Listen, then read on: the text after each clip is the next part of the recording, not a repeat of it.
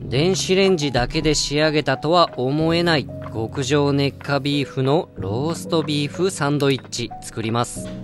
どうも、スーパー ABC 特選素材応援団長のパパイズムです。今回の推し活はこちら、熱火ビーフ。ご存知でしょうか？その特徴は赤身の旨味成分が豊富なこと。そしてきめ細やかで口の温度で優しくとろける油。その特徴をより美味しく味わうために最適なのがローストビーフ。今日はお家でも作れるようにスーパー ABC で買った材料で作りますローストビーフで難しいとされる下味と火入れ下味の部部分はこれ使いましょう。塩コショウハーブやスパイス。揃えにくい材料が揃った。こういうのが便利。こちらのソースも後で一工夫して絶品ソースにしていきます。それでは調理スタート。まずはお肉の全面に調味料をまぶしていきます。この調味料はお肉 300g 分。このお肉は 250g なので微調整しました。ここから30分置いて肉肉を常温に近づけながら味をなじませていきます。ローストビーフは中心の温度管理が非常に大事なので4度違うと仕上がりが全然変わってきます。では下準備ができたので調理スタート。耐熱ボウルにお肉を移してふんわりラップ。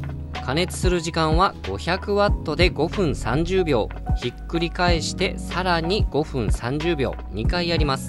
お肉の分厚さや重さによって若干変わりますがまずはこれぐらいからスタートしましょう。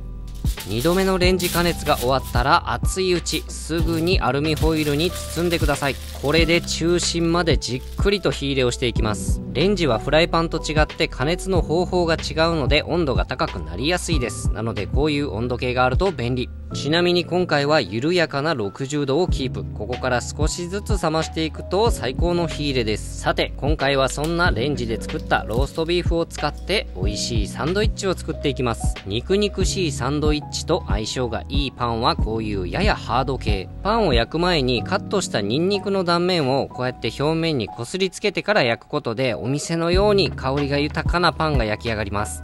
挟む具材はシンプルにいきましょう。トマトスライス。そしてカマンベールチーズ。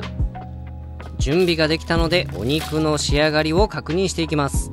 ローストビーフは冷ますことでカットしやすくなり切った時に肉汁が溢れにくくなります。パサつきが少なく表面は薄いピンク色旨味が凝縮された美味しい仕上がりです。ブロックを全部使い切れない時はキッチンペーパーやラップでくるんで冷蔵庫で保存。2日ぐらいで食べきってください。ではパンも焼けたので組み立てていきます。市販のソースそしてサラダトマトカマンベールチーズ。最後にローストビーフを贅沢に持っていきます。お肉の断面が空気に触れていい赤みが出てます。最後の仕上げはソースに粒マスタードを混ぜて美味しい一工夫。これで熱火ビーフのローストビーフで作ったサンドイッチ完成です。見てくださいこのボリューム感。夢のようです。レンジで簡単に作れるローストビーフ。お祝いやおもてなしにぴったりです。熱火ビーフが手に入ったらぜひお試しください。現場からは以上です。ごちそうさまでした。